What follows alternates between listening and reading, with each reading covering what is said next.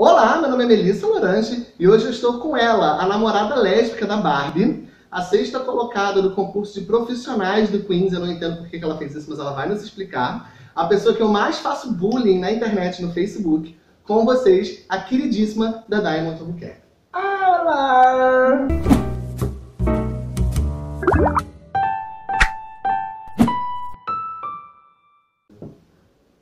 Tu vai beber mesmo? Eu falei que eu ia. A gente pode ver Sim, que ela, é essa juventude, ela é muito saudável, né?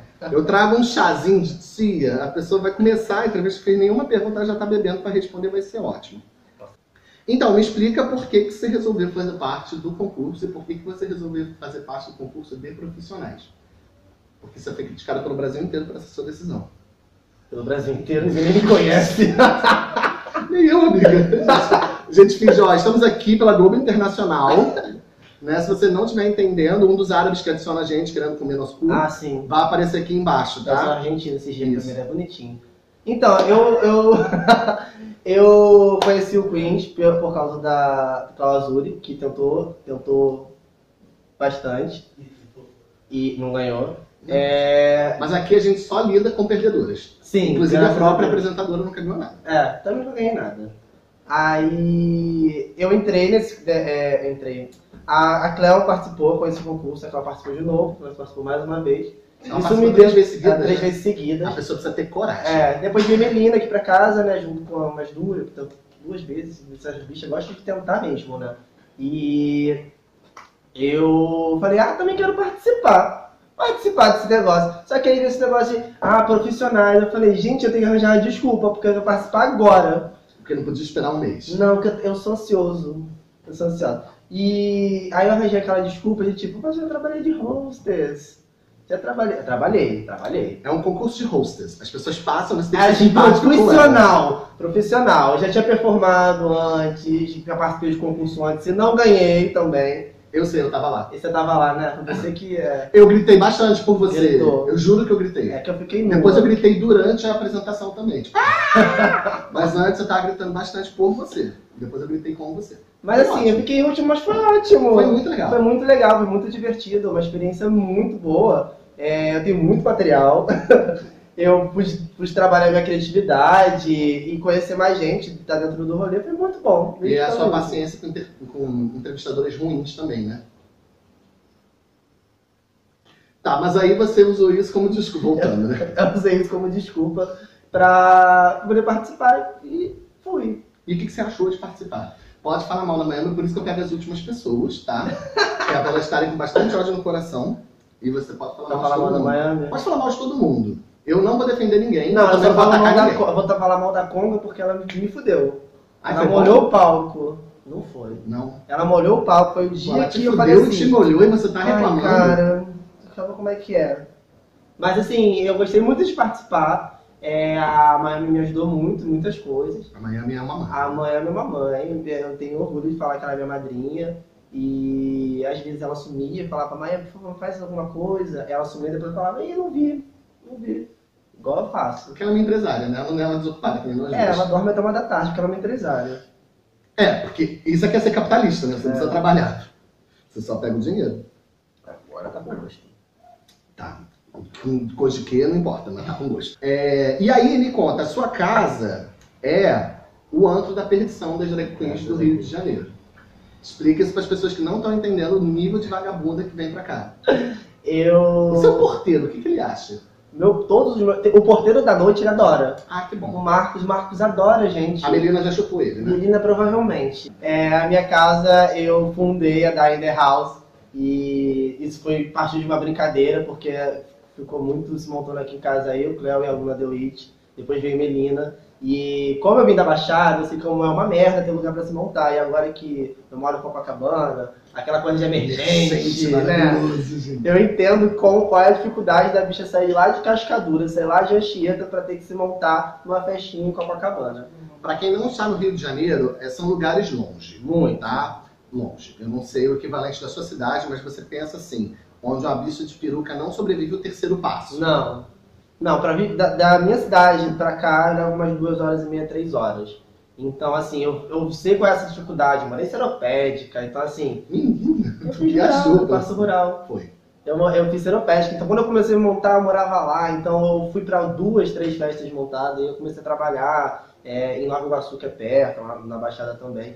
Então, eu, por- numa brincadeira, fundei a da In The House, e eu deixo sempre espaço aberto para quem precisa, para quem é pessoal do rolê que não tem onde se montar, pode vir aqui para casa, se monta aqui, traz as suas coisinhas. Melissa veio hoje se montar Melissa aqui. veio hoje. Não, eu tenho dinheiro pra pegar o Uber da porta da minha casa. Eu vim aqui pra fazer companhia pra Melissa pessoas. não vem mais.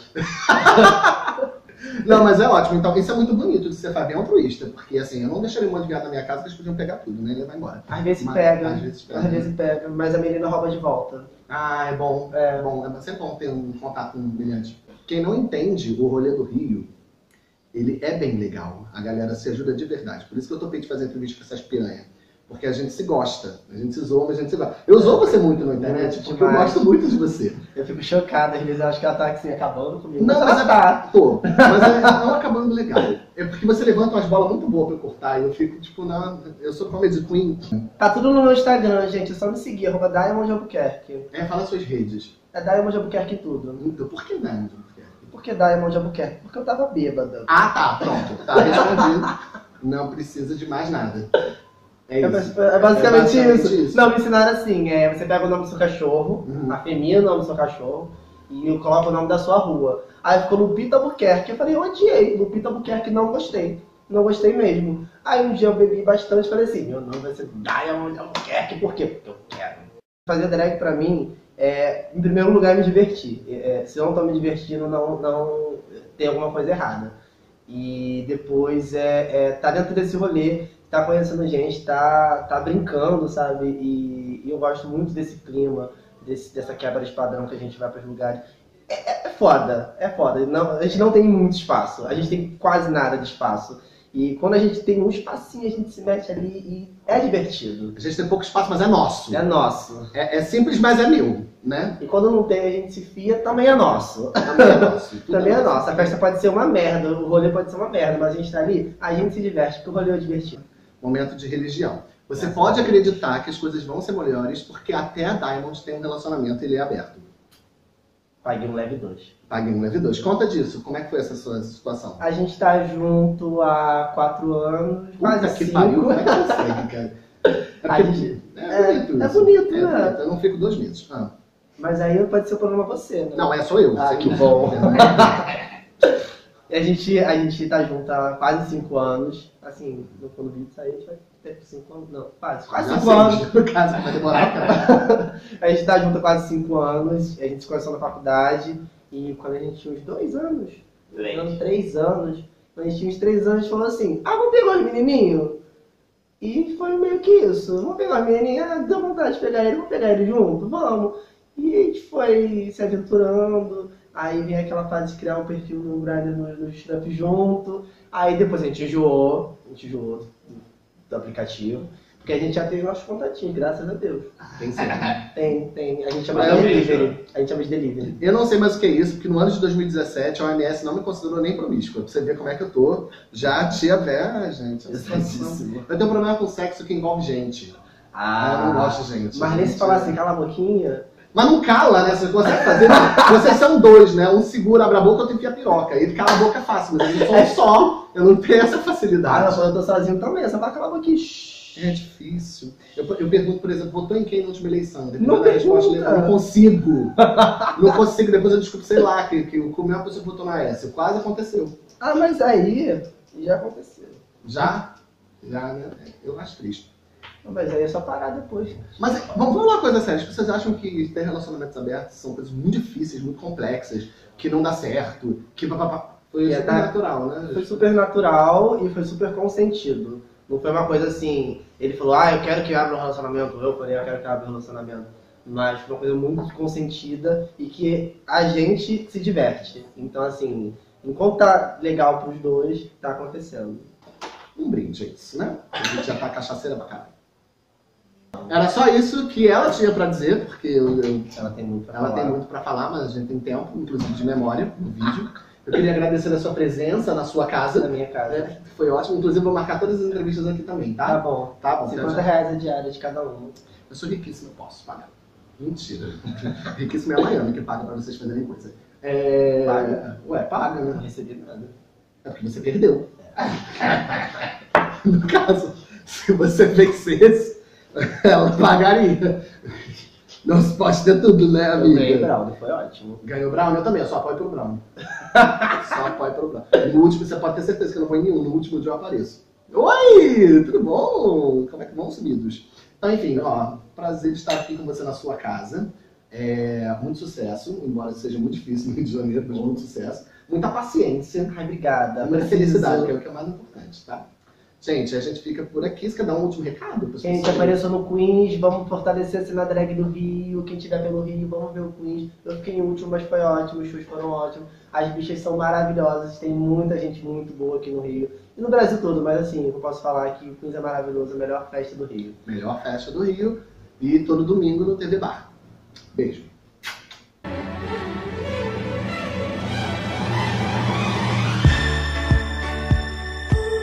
A nossa luz está sendo segurada por Jennifer, arroba de Vargas, Acho tudo junto. é, é isso. Vou colocar aqui Ah, embaixo. User, user. User. Idade é foda, né? Gente, me sigam, super apoio as drags. Ela tem 22 mil seguidores e ela vai fazer a gente ser famosa. Porque se depender de mim, esse vídeo vai ser visto, sei lá, pela minha mãe e talvez pela minha. pela sua. E pela Melina, porque ela Apareceu. apareceu. Obrigado. Salva de palmas pro menino que segura a luz. Chega quieto, Ai, não bate muita palma não.